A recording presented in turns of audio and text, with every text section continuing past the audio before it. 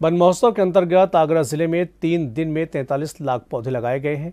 शहर से लेकर देहात तक प्लांटेशन का कार्य बृहद स्तर पर चल रहा है, जिसकी मॉनिटरिंग वन विभाग द्वारा की जा रही है। स्वतंत्रता दिवस की वर्षगांठ के मौके पर आगरा में सात लाख पौधे रोपे जाएँगे।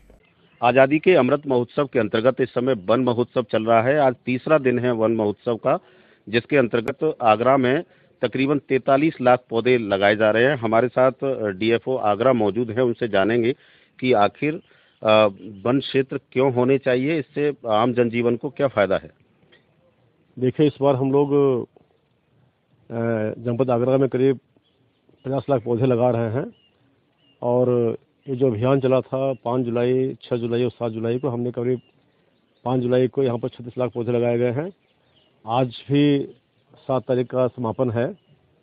करीब साढ़े तीन लाख पौधे लगाए गए हैं। कुल अभी तक सैंतालीस लाख पौधे लगाए चुके हैं।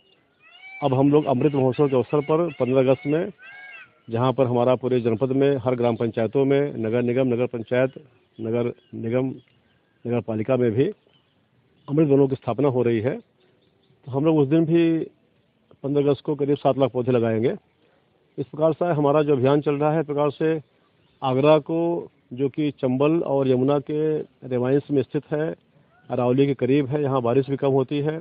हमारा पूरा प्रयास है कि एक जन आंदोलन के रूप में पूरा आगरा के निवासियों का पूरा इनका सहयोग लेकर के ऐसा किया जाए कि पूरा हमारा आगरा हरा भरा हो जाए।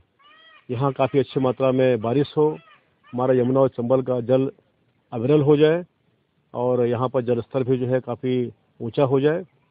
ये हम लोग की मनोकांक्षा है और बड़ा अच्छा परिणाम भी दिखाई पड़ रहा है। आगरा के जनपदवासी बहुत ही उत्साह के साथ हर जन, हर व्यक्ति, हर कृषक भाग ले रहा है और पौधे लगा रहा है। डीएफओ साहब, इस समय अगर पॉल्यूशन की लेयर की बात करें तो आगरा टॉप टेन शहरों में आता है।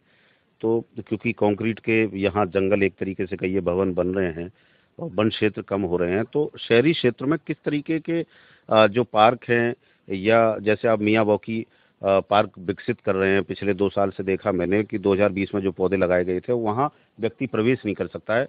आ, मार्च 2022 और अभी पाँच जुलाई को यहाँ प्रभारी मंत्री भूपेंद्र चौधरी आए डीएम साहब और उन सभी ने पौधे लगाए हैं। देखिए आगरा एयर क्वालिटी के संबंध में जो पाँच शहर उत्तर प्रदेश में उसमें आता है और यहाँ का एयर क्वालिटी को मेंटेन करने के लिए हम लोग मियाँ पत्ती से जो है आगरा के ताजमहल के आसपास और पूरे नगर सीमा के अंतर्गत जो है मियाँ बाकी पत्ती से पौधे लगा रहे हैं। इस बार हम लोग करीब चौवन हज़ार पौधे लगा रहे हैं।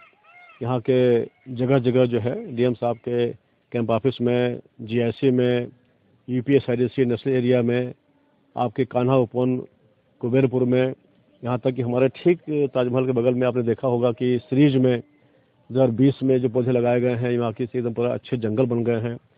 2021 22 में भी हम लोगों ने विश्व बानगी दिवस के अवसर पर मुख्य सचिव महोदय से लोकार्पण करवाया था मियाँ की पद्धति से प्लांटेशन का। अभी हम लोगों ने पाँच तारीख को भी कराया है। इस प्रकार से प्रयास ये हो रहा है कि कार्बन सिक्वेटेशन का एक अच्छा जंगल यहाँ पर तैयार हो जाए। कार्बन सिंक रूप में काम करे। हमारे जो ताजमहल है, हमारे जो अन्य राष्ट्रीय धरोहर हैं उन पर किसी प्रकार कार्बन डाइऑक्साइड गैस का प्रभाव न पड़े। यहाँ की एयर क्वालिटी हमेशा हमेशा के लिए अच्छी हो जाए। हम जल्दी से जल्दी जो मोस्ट एयर पोल्यूटेड सिटीज़ में आते हैं, उससे हम लोग बाहर आ जाए, हमारा प्रयास है। और हम सफल होंगे, क्योंकि हमारा मियाँ बाकी पद्धति से जो बिछोपण किया जा रहा है, बहुत ही अच्छा और सफल बिछोपण है। ये मॉडल के रूप में है।